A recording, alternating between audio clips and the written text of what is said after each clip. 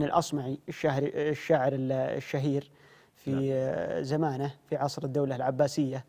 كان له صديق تاجر والصديق هذا صديق الأصمعي الله من عليه بفضل وخير ودراهم وسبحان الله العظيم التاجر هذا جعلها الله سبحانه وتعالى كريم ويعطي المحتاج ويساعد الفقراء والمساكين ويزكي ولا يخلي على خلق الله قاصر قد ما يقدر. رجل يبذل وسبحان الله العظيم. الله يزيده. خيرا على خير كأنه ما يصرف. وكان الأصمعي لما يعني جاء له حاجة ولا ذا يروح صوب صديقه هذا وياخذ منه دراهم على قد حاجته ويمشي. فجاء في يوم من الأيام بعد سنة إلى سنتين تعرف من أول اليوم أن الرجال هاجر للشام مثلا ولا مكة ولا المدينة يبطون العرب من العرب. صحيح. وتتغير وتتبدل الأحوال. يقول الأصمعي في يوم جيت صوب صديقي وأنا حادتني الحاجة. اللي والله على البوابة حارس واقف. قال ممنوع ممنوع الدخول ممنوع. قلت يا رجال أنا صديق الرجال. قال معروف يا رجال. لكن والله ما أوقفني هنا ومنع الناس من الدخول إلا فقره. رفيقك انقلبت عليه الحال. لم يعد معه ريال واحد. يا الله. فكتب الأصمعي على رقعة معه بيت من الشعر. إذا كان الكريم له حجاب إذا كان الكريم له حجاب فما فضل الكريم على اللئيم؟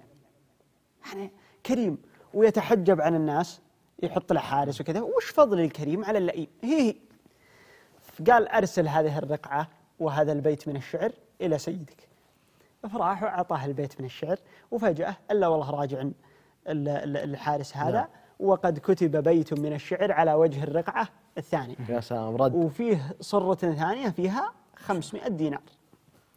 قال هذه 500 دينار وهذا بيت من الشعر.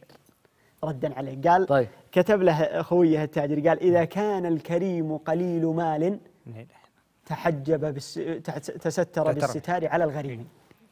فقال ضحك الأصمعي ثم قال والله لا أتحفن المأمون بهذا الأمر. ويقول هالقصة اللي صارت. اي قال وأنا أروح للمأمون. يا طويل العمر والله حصل علي اليوم موقف والمأمون ينبسط. قال وش علومك يا الأصمعي؟ اسلم سولف علينا. فالشاهد من الكلام إنه قال الأصمعي إنه حصل كذا كذا كذا كذا. وهذه والله 500 دينار أعطاني إياها الرجال. قال ورني ال 500 دينار. نعم. فأخذها المأمون وإذا مختوم عليها بختم بيت المال. بيت مال المسلمين. معناته ان مصدر ال 500 هذه من وين؟ من, من عندي أنا يا المأمون. قال يا أخي من وين جاتك الفلوس هذه؟